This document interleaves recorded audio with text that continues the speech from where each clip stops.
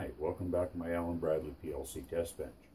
Today we're going to be doing kind of a follow-up video to quality and to testing of the Allen Bradley OA16 modules on the ControlLogix.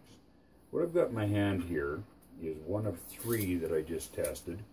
The 1756 OA16 and is a version 3.2, which is a newer version. Uh, this is from 2007. Now, I got three of these in, testing them, put them into the chassis, test, hooked them up as per the usual, and tested them. And all of a sudden, things started going a little strange, as you'll see in the video here. Um, this just goes to show that you have to test everything for more than just a couple of cycles. You have to give it a couple of minutes. And uh, we'll just get swung around here as usual and get set up, and uh, we'll be right back. Thanks a lot. Okay, so here we're back. So here's our, our standard chassis.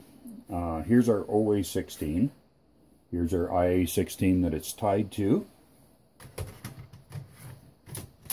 Insert it. Install the wiring arm. Now what I've done on this is, here's the outputs. They're parallel to an input card. And then from there, this cable here goes up to the terminal strip and they're tied to these pilot lights. Now this gives simulation of, of a reasonable load that you're going to see in everyday industrial use. So, so get over here and I've got just a little test program set up. Kind of move back down here so you can see the uh, module. So we tell it to start flashing, and it's flashing. As you can see, the inputs aren't on. Power it up, and you can see everything's going on and off together.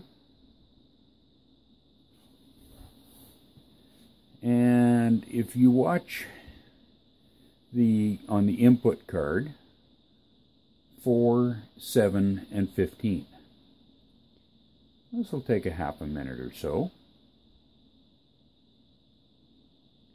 But all three of them, after a little bit, start to give problems.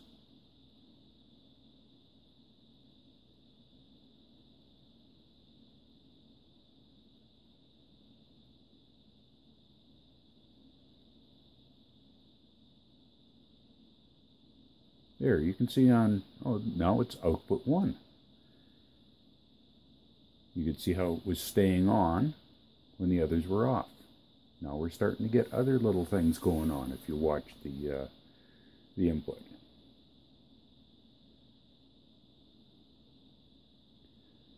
So that shows this has got at least one, if not four, flaky triacs in it. Now this is not something that you're going to see very often, but it shows the value of testing more than just a couple of times. And you can't just test with a ohm meter or a, uh, you know, tie your uh, voltage meter to it to see what it's going on and off. You actually have to give it a little bit of time. Now, you might have just noticed that output 11 started doing something strange there. There it is now.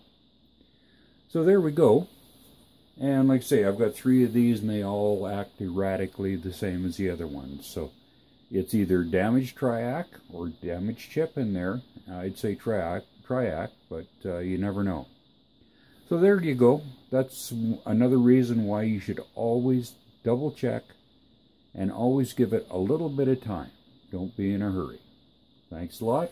Come back in anytime and subscribe if you'd like. Thank you.